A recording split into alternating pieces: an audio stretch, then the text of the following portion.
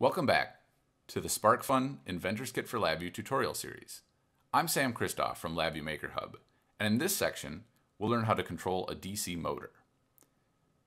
Now most microcontroller boards, like the RedBoard, don't supply enough output current on their digital I.O. channels to drive the motor directly. So we have the digital I.O. channel connected to a transistor, which will control the motor. Check out the link below for a circuit schematic. In LabVIEW, I'll click on Help and choose Find Examples. Then I'll click Search and type LINX. We'll start by turning the motor on and off.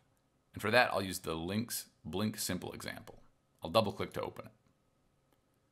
We've seen this example before, and we've used it to control an LED, but now we'll use it to control the motor.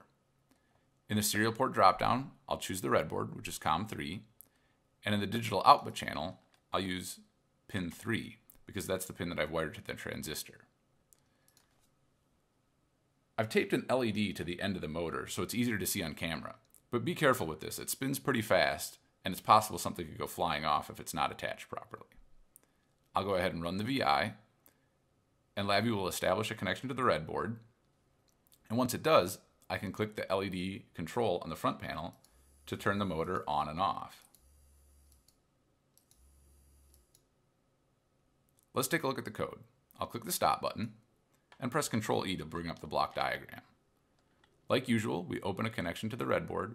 We're using the digital write 1 channel to turn the transistor on and off. This will spin the motor at full speed. At the end, we close the connection and handle any errors.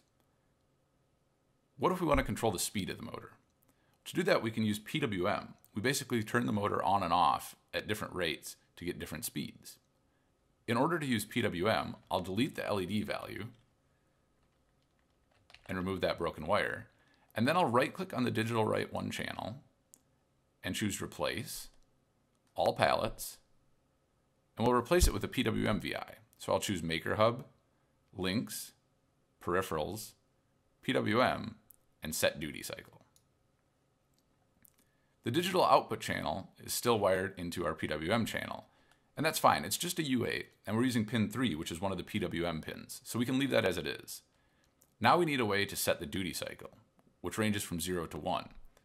And we can see by hovering over it that it's a double input, so we need a double control. I'll go back to the front panel, and I'll right click to bring up the functions palette, and then I'll choose numeric. And here we can see all of our numeric controls and indicators. Since we want to do speed control, I'll click the gauge and place it on the front panel. I'll rename it speed, and I'll center the label.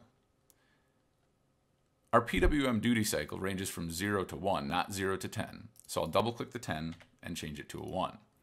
Now our dial will go from 0 to 1. I'll switch back to the block diagram by pressing Ctrl E, and you can see that the speed indicator is created, but we need a control. You can tell this is an indicator because the input terminal is on the left side. In order to change it to a control, I'll right click and choose Change to Control. That switches it to a control, but if we look in the front panel, it doesn't look any different, so that's fine. I'll move the control into the while loop so that it's tested every iteration of the while loop, and I'll wire it into the duty cycle. That should be all we need to do, so I'll press Control E, and I'll run the VI.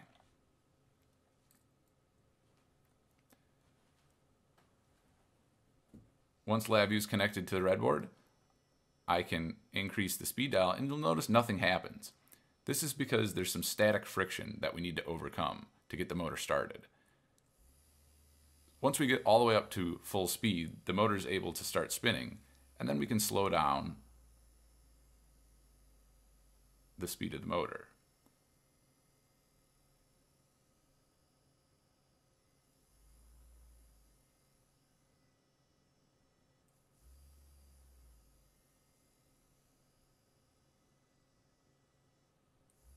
I'll make sure to stop it before stopping the VI.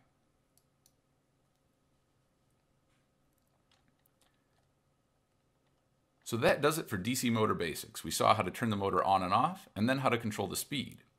You'll notice we didn't control the direction. To do that, we'd need more transistors, and you could use something called an H-bridge to control both speed and direction. Think about how you could use a DC motor in your next project. Maybe you could use a pressure sensor, like an accelerator, in your car.